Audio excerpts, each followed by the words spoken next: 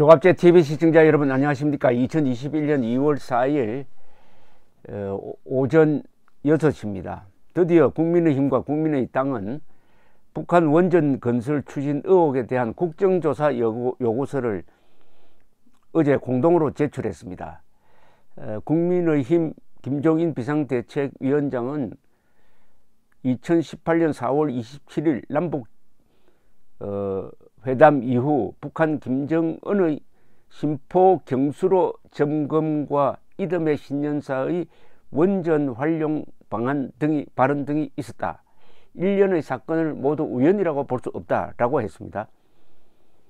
어, 예컨대 언론 보도를 종합을 하면은 2018년 5월입니다. 그러니까 427 판문점선은 비핵화 사기극의 출발점이 된 427 판문점 선언 직후에 일본의 아사히 신문은 대북 소식통을 인용해 가지고 김정은이 건설 도중 폐기된 심포 경수로 현황을 점검하라고 관계부서에 지시했다고 보도를 했습니다.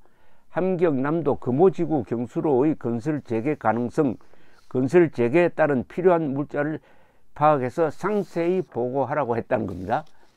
김정은의 이 같은 지시는 당시 6월로 예정된 미북 싱가포르 회담에 앞서 이루어졌습니다. 북한 관리들도 당시 미국 측과의 비공식 접촉에서 원자력의 평화적 이용을 촉구했다고 아사신문은 전했습니다. 그런데 이 심포에 지다가만 이 경수로는 1994년 제네바 합의를 통해서 어, 미국, 한국 등이 북한에 제공하기로 한 200만 메가와트급 경수로였습니다.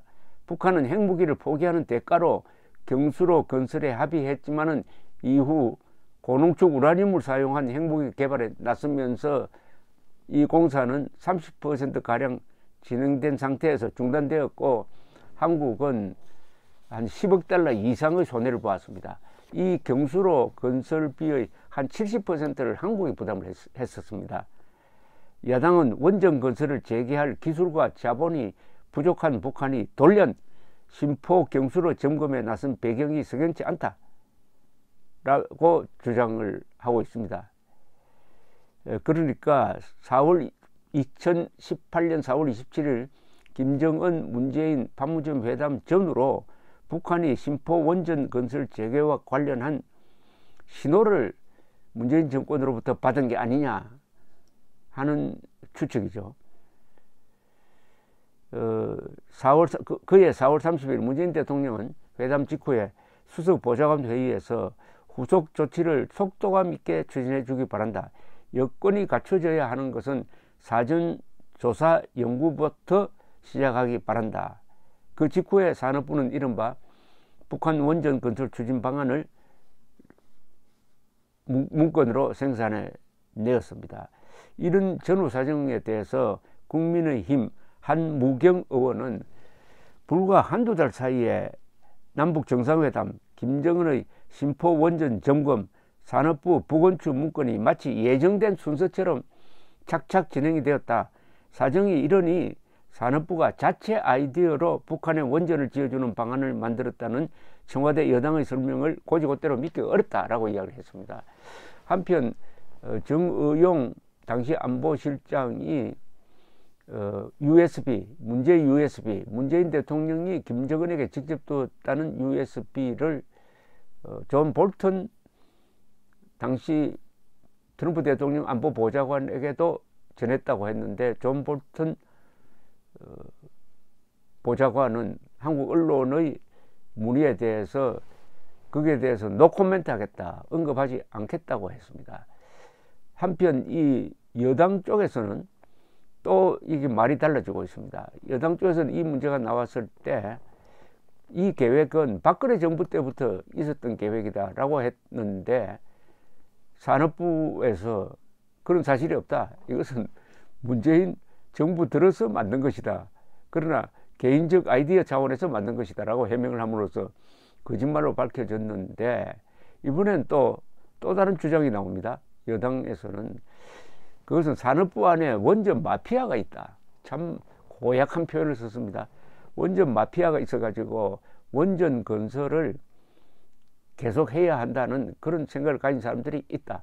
그런 사람들이 이번에 이런 문구를 만들어낸 것이다. 라는 취지의 이야기를 했습니다. 어떻게 원전 마피아라고 합니까? 그런 사람이 있다면 그 사람들은 애국적 공무원이죠.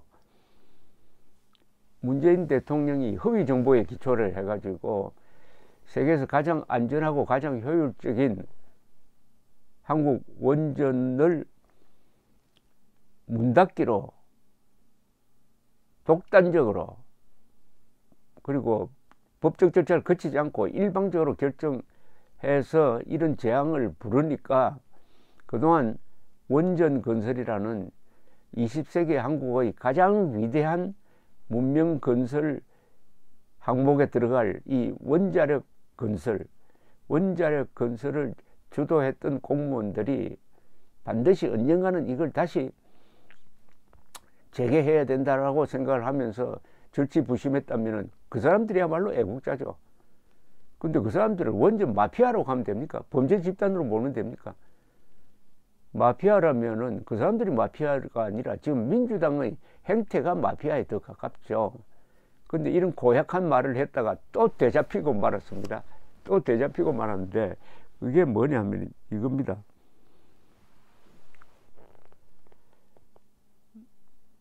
민주당 강 훈식 우 의원은 라디오, 라디오, 어제 라디오에서 우리가 원전 마피아라고 부르는 그룹들이 산업부 안에도 있다. 그런 분들이 어떻게 해서라도 끊임없이 원전을 만들어야 된다고 했다라고 했는데 이 국민의힘 조혜진 의원실에 따르면은 2011년 대외 경제정책연구원 산업연구원이 통일부에 제출한 북한 인프라 개발의 경제적 효과라는 연구 보고서가 있는데 여기에 200만 킬로와트에 이르는 전력을 북한에 지원하는 방향으로 방안으로 심포 부지 경수로 원전 신규 건설 아이디어가 여기 들어가 있었답니다. 문제는 10여 명의 공동 연구진을 이끌면서 연구를 총괄한 책임자가 당시 대외경제정책연구원 소속이었던 홍익표 현재 민주당 의원이다. 홍익표 의원이 그런 아이디어를 냈는데 지금 여당의 정책위 의장을 하고 있다라는 자료를 언론에 냈습니다. 물론 이게 산업부에서 만든 그것과 직결된다고는 뭐 확신할 수가 없습니다. 그러나 그러나 산업부 공무원들을 원전 마피아라고 보니까 자료를 찾다가 보니까 이런 게 또 발견이 되었다 이겁니다. 자, 이 국민의당 그리고 국민의힘이 같이 낸 이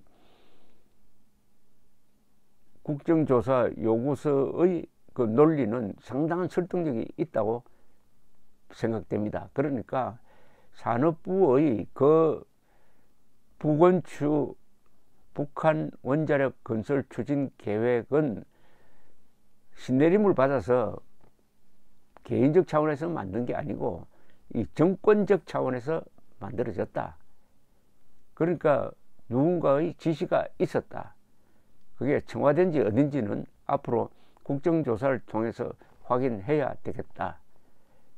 따라서 북한이 당시에 그러면은 북한이 핵을 폐기하겠다고 했느냐 천만의 말씀이죠. 그 당시에 북한 노동당 전원회의 4월 회의는 이제 핵 무력이 완성되었다. 평화를 번영을 보장하는 보금을 하나 갖게 되었다. 이제 책임 있는 핵 보유국 입장에서 군축 회담은 생각해 볼 수가 있다. 요 정도로 이야기를 했어요. 그리고 어, 그 전달에 있었던 이 정의용 특사의 방북 때 한 이야기도 기존의 입장을 되풀이했었습니다. 조선반도의 비핵지대화는 우리 수령님의 말하자면 유언이었다. 그런데 조선반도의 비핵지대화는 북한의 비핵화가 아니고 그 전에 주한미군 철수, 한미동맹 해체, 그리고 해국산 포기 등을 포함한 한미동맹 해체 를 위한 하나의 에, 흉계입니다. 그것밖에 이야기 안 했는데 정우용 특사는 국민들에게 마치 김정은이가 핵 포기, 핵 폐기 의지를 갖고 있는 것처럼 거짓말을 했습니다. 그리고 트럼프를 만났을 때 김정은이가 핵 폐기하려고 한다. 그리고 트럼프 대통령을 직접 만나려고 한다라고 하니까 트럼프 대통령이 그러면 만나겠다고 즉석에서 결정을 해가지고 이 비핵 거대한 비핵화 사기극이 돌아가기 시작했던 것입니다. 바로 그때의 상황입니다. 4, 2 7 아니 3월 초 2018년 3월 초의 정의용 특사의 방북 그리고 4월 27일 판문점 선언 그 다음에 6월 12일 싱가포르에서의 트럼프 김정은 회담 요 시간대에서 만들어진 게 바로 산업부의 부건축 문건이었습니다. 그럼 하나 정도가 만드는 게 관련 문건이 한 10개가 넘습니다. 그럼 이게 개인적 차원이 아니다. 정권적 차원에서 그런 검토가 되었다. 그렇다면은 이것은 일종의 이적 행위에 속할 수밖에 없다. 왜냐하면은 당시에 북한이 핵을 포기했다고 포기하겠다고 말도 안 했는데 그리고 핵 보유를 이미 기정사실화 했는데도 북한에 원자력 발전소를 지어주겠다는 발상을 했다면은 그것은 북한에 핵물질과 핵 기술을 제공하겠다는 약속에 해당하므로 이것은 이적, 반역, 무슨 용어를 쓰더라도